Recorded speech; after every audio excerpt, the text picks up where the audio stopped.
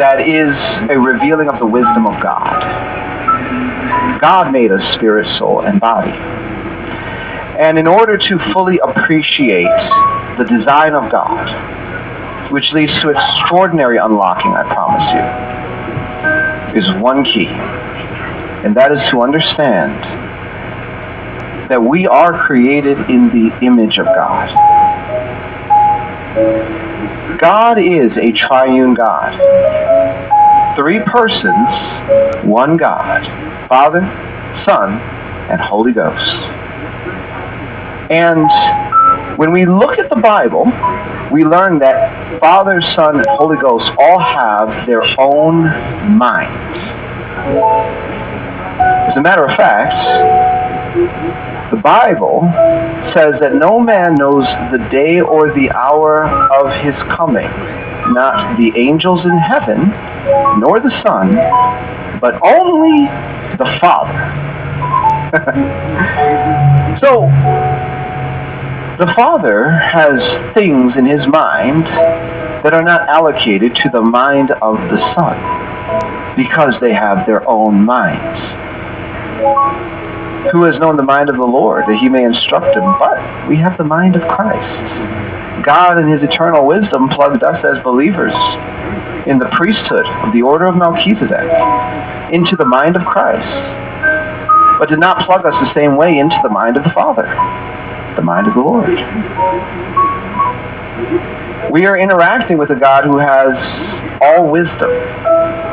And in his manifestation, three persons, one God, he reveals the wisdom that he put in human design.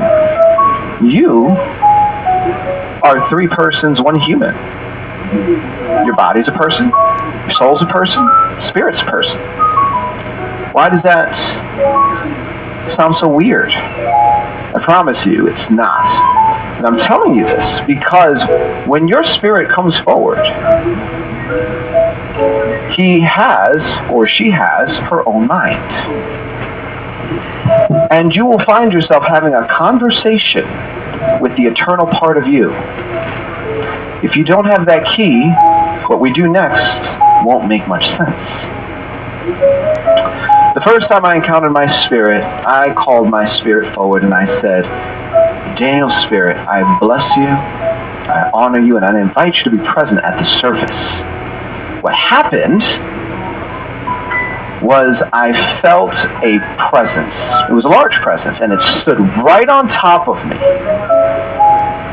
And it started making declarations and those declarations were in line with everything that I've been journaling that I was disagreeing with God about.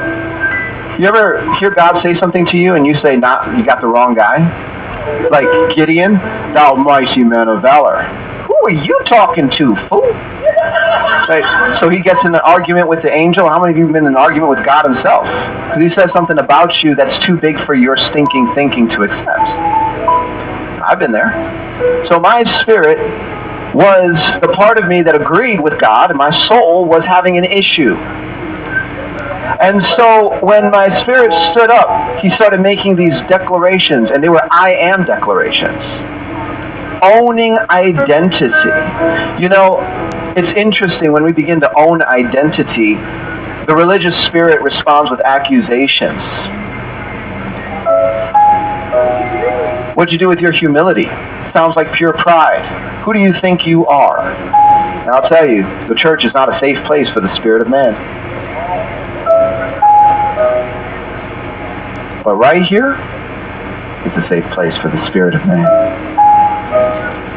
So what we're going to do is, I'm going to bless your spirit. So call your spirit forward. Some of you are going to have an encounter right away, just like that. Some of you are not. And I'll tell you, we have plenty of people that can minister to you some breakthrough if you are unable to connect with your spirit and